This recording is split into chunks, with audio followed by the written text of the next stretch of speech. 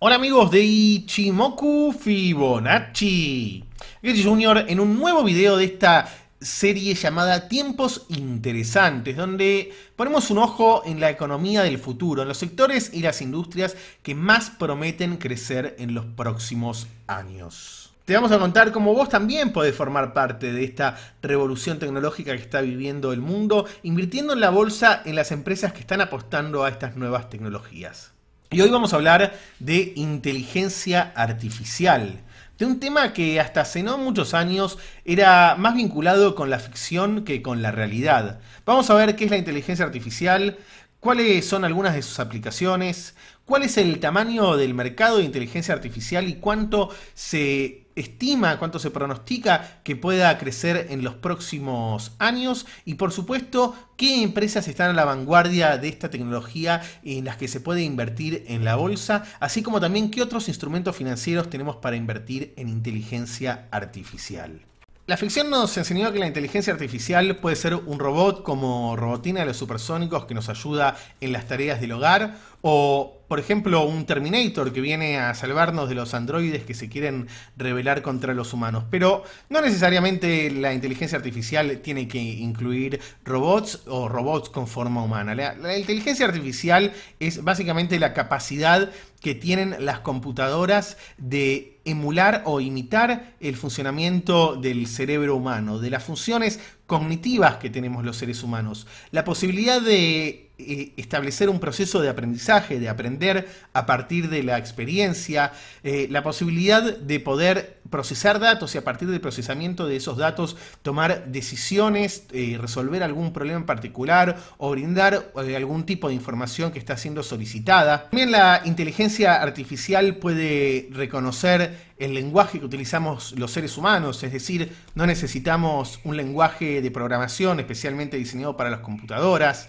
La inteligencia artificial puede ver, reconocer caras en fotos, puede reconocer la voz, puede reconocer nuestro, no solo nuestro tono de voz, sino también lo que decimos. También van a aportar su gran parte a lo que es la automatización en las fábricas, en, las, en los procesos de producción y que ya lo están haciendo. Como pueden ver, el campo de la inteligencia artificial es un campo muy, muy amplio y en general la inteligencia artificial o la incorporación de la inteligencia artificial se va a dar de, dos maneras. Por un lado, vamos a los productos y servicios que hoy estamos utilizando van a ser mejorados por la inteligencia artificial. Incluso ya Probablemente todos los días tenemos algunas interacciones con dispositivos que utilizan esta tecnología. Por ejemplo, el caso de Facebook, cuando te identifica, cuando subís una foto a Facebook, bueno, creo que nadie sube una foto a Facebook desde el 2012, pero eh, cuando se subían fotos a Facebook, Facebook te identificaba la cara de la persona que estaba en esa foto y te sugería querés etiquetar a esa persona. O por ejemplo, la tecnología que tenemos de asistentes virtuales, asistentes personales como Siri, Cortana, Alexa de, Apple, Microsoft y, Amazon. También los mecanismos de, desbloqueo de los iPhones más nuevos y de los Samsung más nuevos que permite desbloquear el celular simplemente mirando la cámara y que el teléfono reconozca la cara de uno y le otorgue acceso. O sea, ya estamos interactuando en, varias ocasiones con inteligencia artificial, muchas veces sin saberlo o sin darnos cuenta. la, forma en la que las aplicaciones de, de la inteligencia artificial pueden ser varias y van a afectar a muchas industrias, o a todas las industrias casi. Por ejemplo, ya mencionamos el caso de asistentes personales como Siri, Cortana, Alexa, que son eh, implementaciones de inteligencia artificial más básica.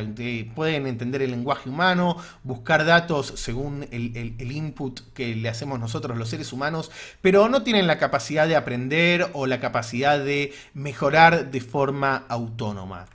También en el retail, en el, sector minorista, estamos viendo muchas aplicaciones de la inteligencia artificial. Por ejemplo, cuando hace, uno hace una compra y se compra un, pantalón de jean y luego el, sitio web en el que hizo la compra le recomienda una camisa que queda bien con ese jean. Por ejemplo, en ese caso estamos viendo en actividad la inteligencia artificial. Según un estudio de Accenture, ya hay un 54% de empresas del sector minorista que están usando usando o planean implementar en los próximos años sistemas de inteligencia artificial. Además, según este informe, dice que en el 2035 la inteligencia artificial va a permitirle al sector retail aumentar sus ganancias en un 59%.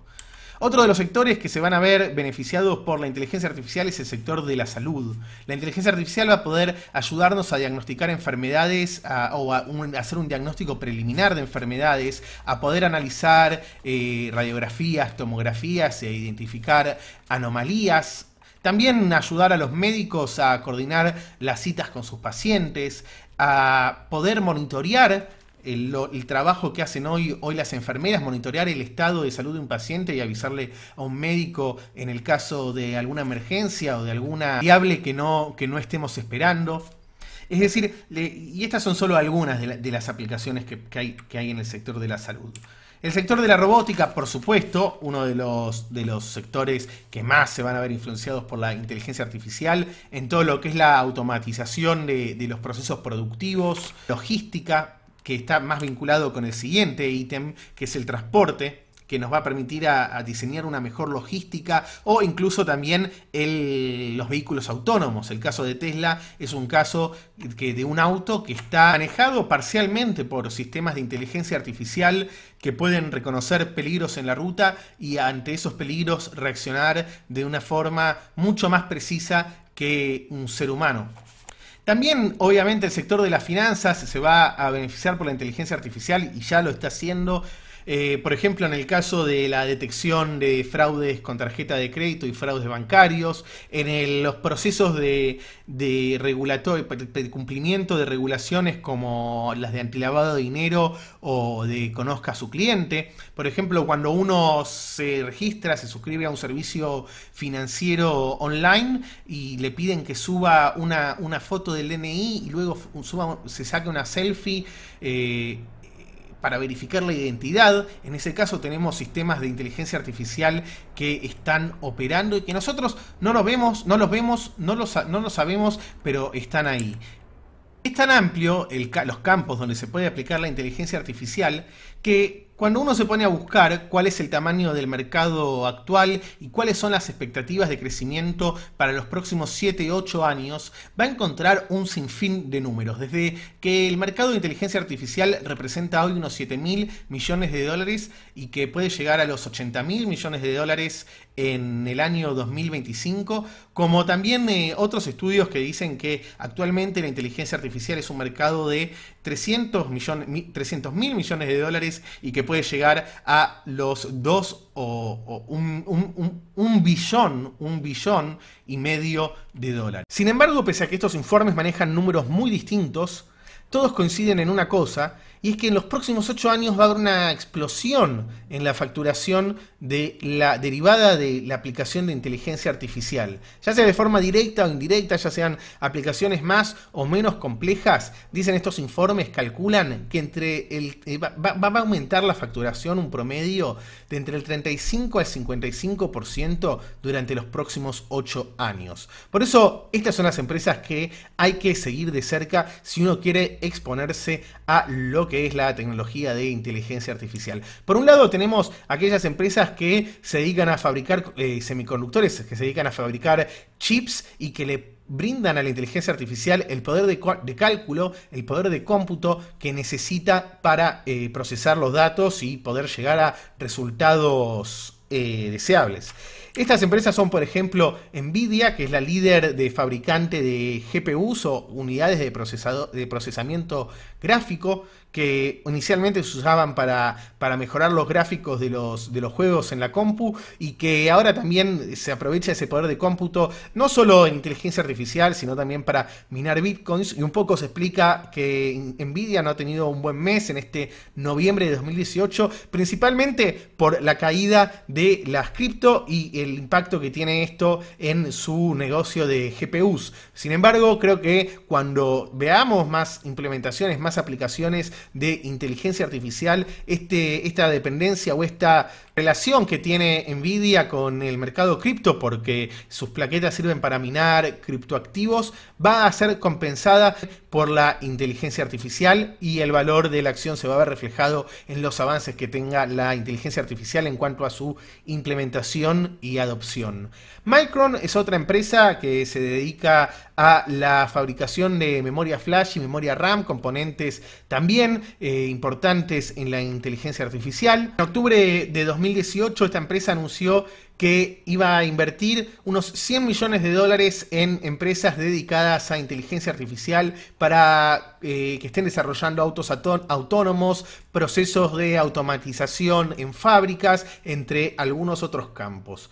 Por último, otra vieja conocida Intel, que si bien es en los últimos años donde empezó a hacer énfasis en la inteligencia artificial, es líder en la fabricación de microchips y no hay que descartarla en consecuencias positivas que va a traer la adopción de la inteligencia artificial. Desde el punto de vista de las empresas que están invirtiendo en inteligencia artificial para sus productos, para sumarlos a sus productos y mejorar sus productos, bueno, no van a encontrar mayores sorpresas. Alphabet, la casa matriz de Google, que tiene una, empresa dedicada especialmente a la investigación de inteligencia artificial, DeepMind, que son los que fabricaron la computadora que le ganó al campeón mundial de Go en 2017, un juego de mesa que incluso parece que es más complejo que el ajedrez. Eh, al ajedrez la inteligencia artificial le ganó al, ser humano hace ya 20 años, en el año 97, cuando Deep Blue de IBM le ganó a Gary Kasparov. Así que Google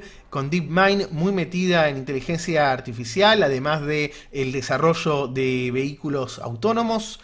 Eh, podemos seguir con el caso de Microsoft, que desde que se fue Steve Ballmer y tomó las riendas de la empresa Dianatela, está eh, volcándose al sector de inteligencia artificial junto con el sector de eh, cloud computing o computación en la nube. Así que Microsoft, una empresa que no quiere quedar rezagada, pese a que es una, que es una de las más longevas en el, en el sector tecnológico. Tenemos a Amazon, que no solo se va a ver beneficiada por la inteligencia artificial en cuanto al retail, en cuanto a eh, sugerir mejor mejores cosas a sus clientes, en cuanto a posibilidad de comprar en un mercado sin tener que pasar por una caja, como están experimentando por un cajero, mejor dicho, eh, que esté atendido por un ser humano como están experimentando en Seattle, sino también que va a impactar en lo que es la logística. Amazon tiene gran parte de su negocio es la logística, la posibilidad de ser eficiente a la hora de distribuir los productos y la inteligencia artificial también va a impactar en esta, en esta parte del, del negocio de Amazon.